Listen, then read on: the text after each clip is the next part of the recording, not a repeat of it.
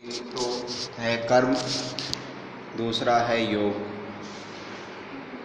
कर्म शब्द क्री धातु जो संस्कृत में क्री धातु एक उससे बना है। तो कर्म का मूल आशय है क्रिया। अब हम क्रियाशील होते हैं तो हम कोई कर्म कर रहे होते हैं। और यह क्रिया शारीरिक तल पर भी होती है, मानसिक तल पर भी होती है। जब हम शरीर से कुछ कार्य कर रहे होते हैं, कोई व्यवहार कर रहे होते हैं तो भी कर्म चल रहा होता है। और जब मानसिक तल पर कोई विचार या भावना, कोई याद आपको आ रही होती है तो वह भी एक तरह का कर्म होता है। यानी कि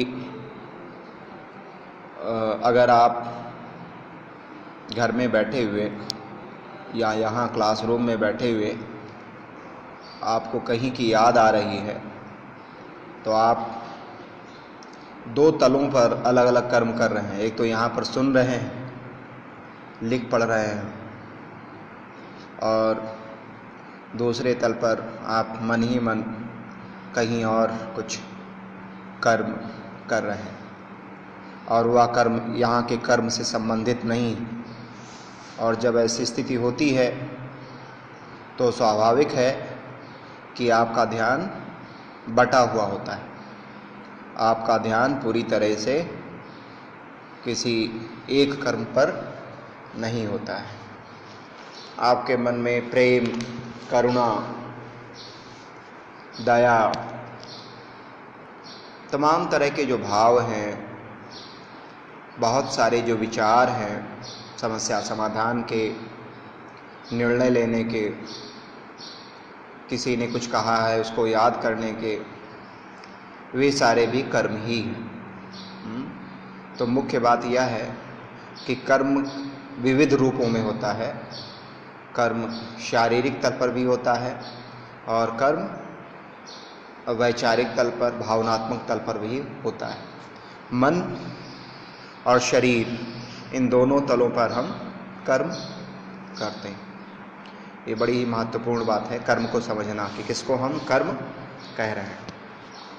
अगली जो मुख्य बात है, कर्म के संदर्भ में, वह ये है कि हर एक कर्म एक तरह का प्रभाव उत्पन्न करता है। क्या उत्पन्न करता है? एक तरह का प्रभाव उत्पन्न करता है। यह प्रभाव किस रूप में होता है? यह प्रभाव एक तरह के संस्कार के रूप में होता है।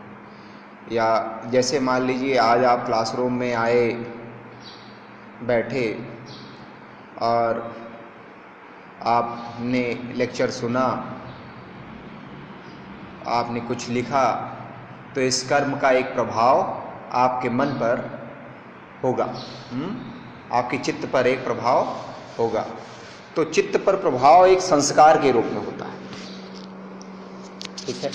तो उस कर्म को करने की आगे भी संभावना बनती है।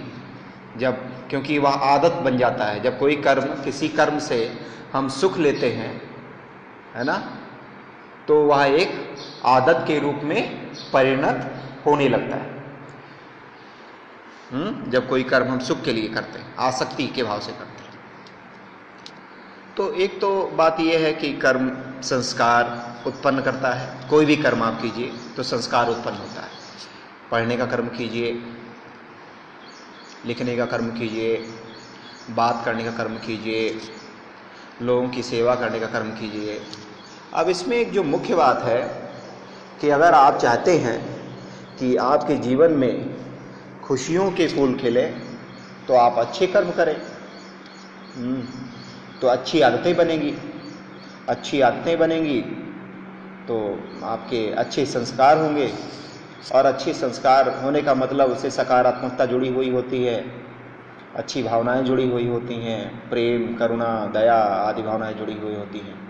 तो आपको सुखानुभूति होती है। एक तो बात यह अगली बात यह है कि हर एक कर्म आगे अन्य ऐसे कर्मों की होने की संभावना को बढ़ाता है। तो कर्म एक श्रृंखला कर्म की एक श्रृंखला बनती है। कई बार हम ये भी कहते हैं कि किसी भी क्रिया की प्रतिक्रिया भी होती है। हम्म, तो जो कर्म है, एक कर्म जो हमने किया वह बाद में अन्य कई कर्मों की पृष्ठभूमि भी तैयार करता है और उसके साथ साथ दूसरे के द्वारा जो कर्म किया जा रहा है, उसके रूप में कुछ नए कर्म भी लेकर सामने लाता, आता है और फिर उसके बाद में फिर आप प्रतिक्रिया करते हैं। तो एक जो और इसमें एक मुख्य बात है, वह यह है कि आप ऐसे कर्म न करें जो प्रतिक्रिया पूर्ण हो, जिनकी प्रतिक्रिया उत्पन्न हो, है ना? सकारात्मक कर्म करें तो उनकी सकारात्मक प्रतिक्रिया होगी, वो तो अच्छा है। लेकिन ऐसे कर्म, जैसे मान लीजिए किसी पर नाराज़ होना, किसी को ऐसी बात कहना जिससे इसको ठेस लगे, और फिर कल को वह भी कुछ ऐसा कर्म करे जिससे आपको ठेस लगे, फिर उसके बाद में फिर आप कोई ऐसा कर्म कीजिए जिससे फिर उसको ठेस लगे तो यह एक श्रृंखला फिर चलती रहेगी। क्रिया की प्रतिक्रिया होती रहेगी। हाँ। हाँ प्रतिक्रिया नकारात्मक हो। हम्म। प्रतिक्रिया नकारात्मक हो। ऐसे हाँ ऐसे कर्म ना करें है ना? तो अब यहाँ पर हम लोग यह समझना चाह रहे हैं कि कर्मयोग का दर्शन है क्या? कर्मयोग का जो मूल मंतव्य है वह यह है कि हम कर्म के जाल से छुटकारा पाना चाहते हैं। किससे छुटकारा पाना चाहते हैं? कर्म के जाल से। कर्म के जाल से छुटकारा क्यों पाना चाहते हैं? क्योंकि कर्मयोग के अनुसार हमारे जितने दुख होते हैं, हमारे जो भी जीवन में दुख हैं, उसका मूल कारण क्या है? उसका मूल कारण है कर्म। तो अगर हम कर्म से के से उबर जाए, है ना? तो दुख समाप्त हो सकता है। अब इसका मतलब ये नहीं है कि कर्म करना ही छोड़ दें, है ना? क्योंकि बहुत सारे कर्मों की संभावना आपके जीवन में मौजूद है, जिसको आपने अगर महाभारत के विषय में सुना होगा या भगवान श्री कृष्ण का प्रसंग सुना होगा तो उसमें ये बात आती है, भगवान श्री कृष्ण कहते हैं अर्जुन से कि तुम बिना कर्म किए तो रह ही नहीं सकते। कर्म तो तुम्हें करना ही पड़ेगा, वो तुम्हारा स्वभाव है, इससे तुम भाग नहीं सकते। लेकिन अगर हम थोड़ा और गहराई में जाएँ, और जो कर्मयोग का दर्शन है, उसको अगर हम समझें उसकी फिलासफी वह जो गीता है, वह पूरी तरीके से स्पष्ट करती है। और आप देखिए, मैं नहीं कह रहा हूँ कि उस कर्म का उदाहरण देना आवश्यक है या नहीं आवश्यक है, ये मेरा कहने का उद्देश्य लेकिन उसकी फिलासफी उस गीता से स्पष्ट होती है और उससे ये पता चलता है कि कर्म के विविध प्रकार होते हैं। और कर्म में, कर्म को करने में अनासक्ति का बहुत महत्वपूर्ण उसकी भूमिका होती है। जिसमें कि युद्ध जैसा कर्म भी अगर है और उसको अनासक्ति पूर्वक किया जाए तो वह भी आपको मुक्तिदायक हो सकता है। उसके भी परिणाम अच्छे हो सकते हैं और उससे भी आपको योग की प्राप्ति हो सकती है। जो मुख्य बात यहाँ ये है है ना? जिस तरीके से उन्हों, उन्होंने अनासक्ति को रेखांकित करने का प्रयास किया है वो बड़ा मूल बात है। और देखिए इसीलिए शायद कर्मयोग पर जब भी बात होती है है ना? चाहे विवेकानंद जी को बात करनी हो चाहे गांधी जी को बात करनी हो चाहे लोकमान्य तिलक जी को कहना हो किसी को भी कुछ भी कहना हो तो गीता को बिना बीच में लाए या महर्षि अरविंदो को कुछ कहना हो, है ना, इस विषय में। बिना गीता को लाए आप कर्मियों की बात पूरी नहीं होती। मैं नहीं कह रहा हूँ कि उसको जिसका तस सही माना जाए, हो सकता है मिथोलॉजी में भी है ना?